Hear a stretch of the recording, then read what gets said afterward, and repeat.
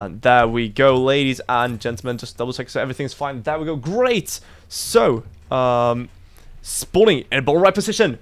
Down one game. Really wants to take this one. Otherwise, he's out of the GO4SC2 Monday. Playing for mYinsanity. It is the, per uh, not purple. It's the pink Zerg, Dana. Oh, God. Colors. Colors. And as his opponent spawning top left position. Playing for Alien Invasion. The Blue Pros up one game. Looking to take the entire series. It's Chubz. So, Dana vs. Chubz once again in the second game, now on Bel'shir Vestige. I just love this, and oh my god, I'm really sorry, that was bad. There we go, great.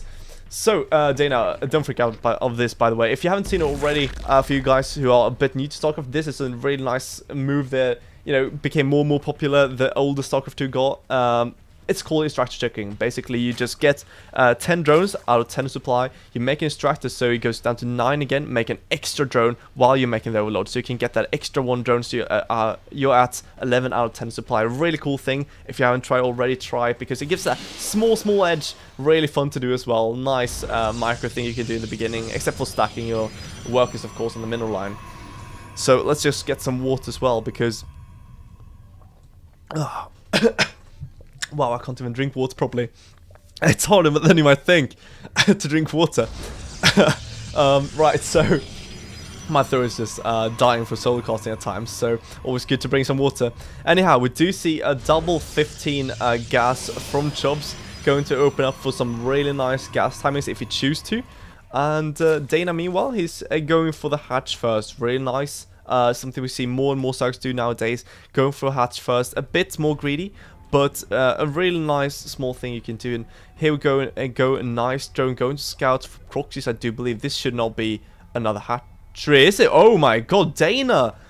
Against a Protoss is going to go for double hatch before pool into gas into pool. Oh my god. So basically this is the most greedy thing you could ever ever do. I mean double hatch before pool is something you can joke about but you almost never do it. Oh my god this is great.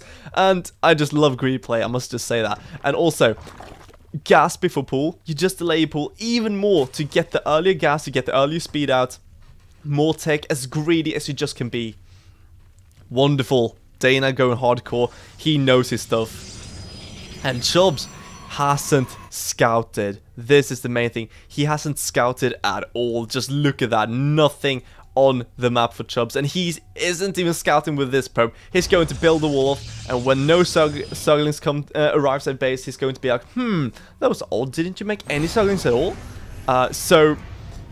Wow, yeah, Dana already mind gaming really hardcore. And if Chubz doesn't recognize this in time, Dana will have the most epic advantage you could ever think of. Sure, Chubz did an expansion, but this is extremely greedy. So let's see what uh, Dane is going to do about this. He's, um, or rather with this, not about this, he really likes this. So he's getting his speed out, really nice timing, only uh, getting one gas as well.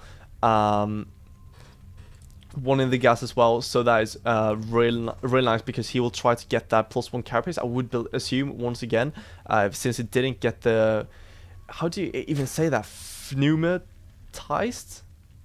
I think so. Pneumatized carapace.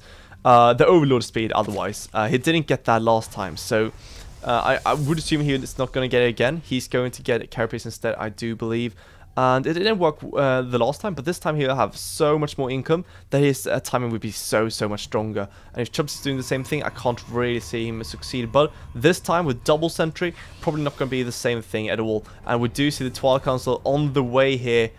And is this where I think it might be? I actually didn't check if he chronoed out the Mothership Core. Is there Mothership Core out? Yeah, it is. Okay, so I actually didn't pay attention to that because there is a really cool thing I saw. I think with the sentries you can't really do it, but uh, with the Twilight Council, we might see quite an early uh, DT Shrine. It is a possibility, otherwise a really, really early Blink. We're going to see if he gets the Blink. Should get it now this second. Yes. So, okay, a really nice Blink timing. Uh, it's not what I thought I might see, uh, because I I've been reading way too much Team Liquid. Uh, but a blink timing, really nice, gonna chrono that out. He's gonna get a ton more gates and hit a really strong, nice timing out two bases. And the question is, can Dana actually hold on, uh, you know, hold on? Because he doesn't, he hasn't even started his Roach War. He only has this one spawning pool, and he has not been building any units. Has two Zerglings, where are they? One Watchtower each. Has even scouted a bit with the Overlords. Hasn't seen the Twilight Council. Hasn't scouted. Hasn't even seen the extra sentries, which is a really pivotal thing in this game.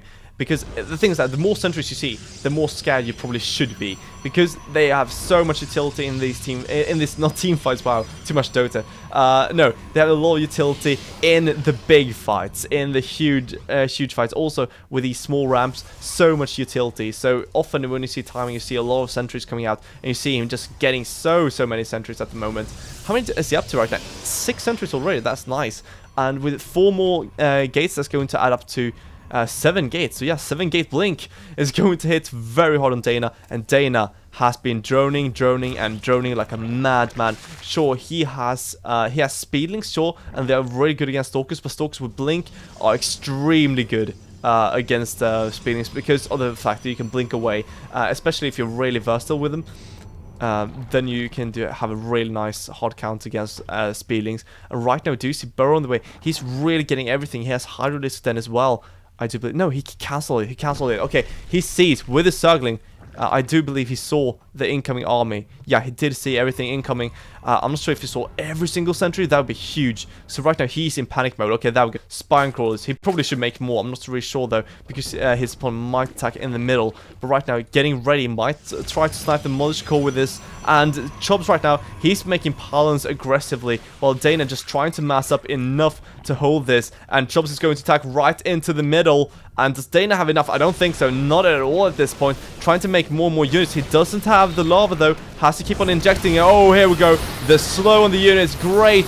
Aggressive force fields trapping all the roaches. The uh, is trying to do enough damage, but with those Blinky Stalkers, it's going to be hard to do enough damage. And the roaches picking off quite a few of those sentries actually, but a lot of roaches trapped. These targets are not doing anything to help this battle out. And with those great force fields, it looks like Chubz is just beating Dana down. But if Dana can hold though, he'll be in a great position. But Chubz, right now, getting more and more units, more Stalkers right now, not trying to replenish those sentries. Nice pick off by Dana with those uh, sentries. And here we go. Dana from both directions. Not enough uh, roaches, though. But there is no uh, observer for Chubz. He cannot see the bird roaches. Here we go. No bird uh, movement. He will try to trap the uh, Stalkers of Chubz with his roaches. And he's doing some nice amounts of damage. But those roaches are dying left and right. Trying to pick off enough. There we go. A few Stalkers going down. That's a big, big hit for Chubz. And look at supply at the moment. Dana actually pulling ahead in supply, but those roaches overextending quite a bit. He might lose all his roaches, and that is uh, extremely fatal for him if it does. But that's a good burrow. That's a really, really well-placed burrow because of the fact that if Chubz now leaves this pylon, he will kill it with ease. But if it, if it doesn't, Dana will just get more and more units until he can hold this. There is no upgrade advantage for Chubz. And here we go. Once again, now Dana choosing to pick the fight. He's choosing to attack here, and Chubz running away. Is Dana overextending? I'm not really sure. I do not think so, though. More Stalkers coming into the fray here. Nice Blink Micro by Chubz. Let's uh, get some more health bar. Sorry for that. Uh, trying to blink away once again, but the Stalkers are not really enough at this point. Dana pushing his opponent back. Now getting the highest and really hard counter to the uh, Stalkers. And Chubz trying to blink away, but the Roach is killing off Stalker after Stalker, and GG Dana takes the second game with a really